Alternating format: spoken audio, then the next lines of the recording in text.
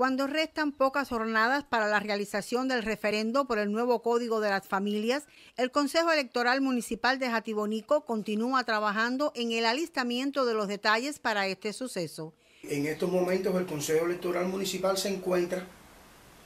realizando la tercera y última capacitación, ya con víspera a lo que va a ocurrir el día 25 del mes en curso, que es el referendo por el Código de la Familia. En esta capacitación momento muy importante donde participan todas las autoridades electorales. Me refiero a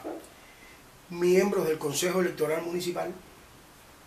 miembros de comisiones electorales de circunscripción y todos los miembros de las mesas electorales. Es decir, un grupo de personas que van a estar trabajando directamente en lo que va a ocurrir el día 25, que debemos estar todos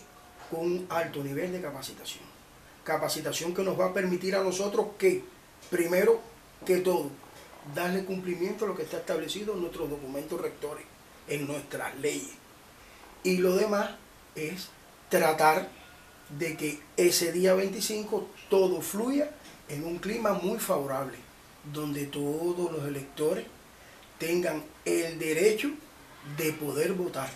como parte de la preparación de nuestro pueblo para el referendo por el nuevo Código de las Familias, las organizaciones de masa de conjunto con los factores de la comunidad, acompañados por el partido y el gobierno, los combatientes, así como líderes naturales, intercambian con la población. Este 25 de septiembre, alrededor de 34.800 jatiboniquenses acudirán a las urnas para ejercer su voto y de ellos, más de 1.500 lo harán por primera vez. Ana Miriam Cabrera, Noticiario en Marcha.